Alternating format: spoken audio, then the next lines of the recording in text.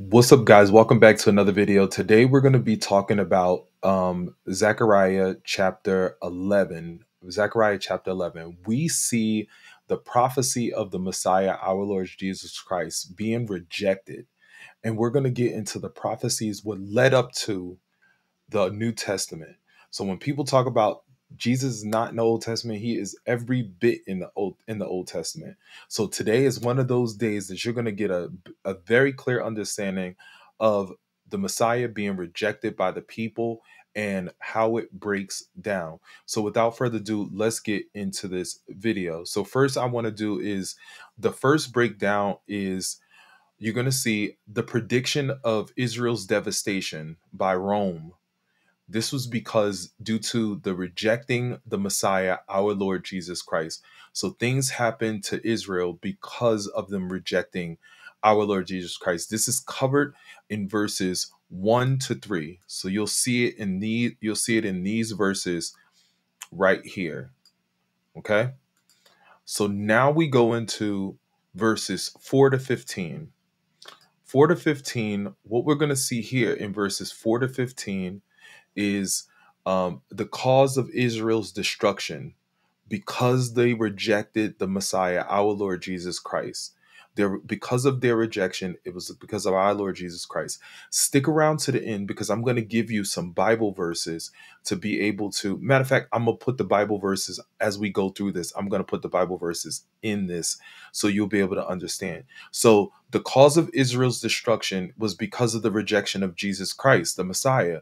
And this is actually covered in chapter 11, verses 4 to 15 four uh, correction 4 to 14 so chapter 11 verses 4 to 14 so in this chapter all the way down to 14 right here. So what we're going to see what you're going to see also is when you're going to see the the 30 pieces of silver the 30 pieces of silver you're going to come to a section of the 30 pieces of silver.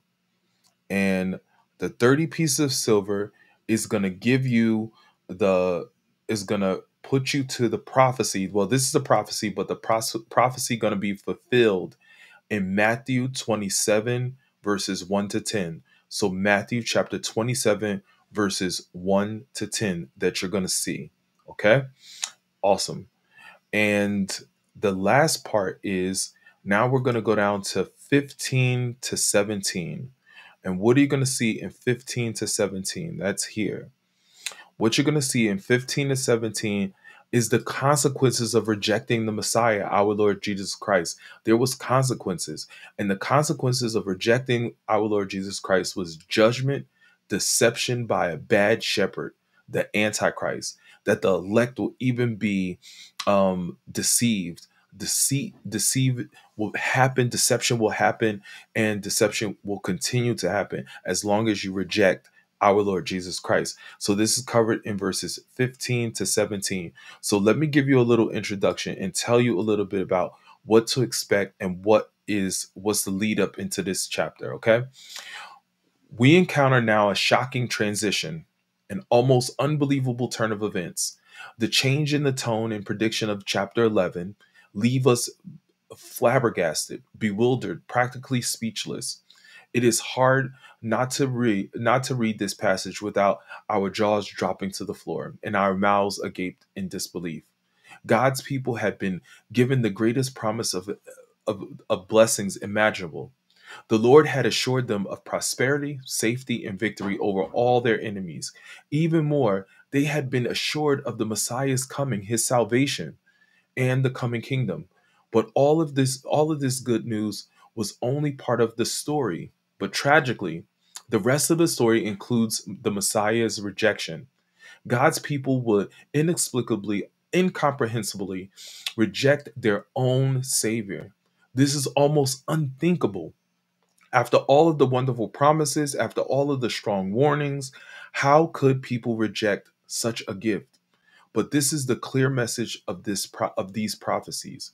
We are left wondering why how could Israel reject reject Jesus Christ, their true shepherd? That's what you're going to see in this. If you have any questions, put them in the comments below. If you type amen, you'll get a personal message from me.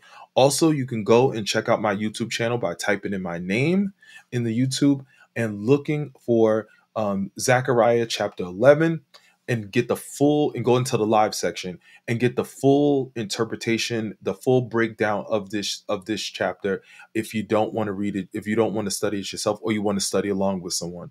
So i want to thank you for watching. God bless you. God bless your family. And if you like this video hit thumbs up so it can be shared with other people.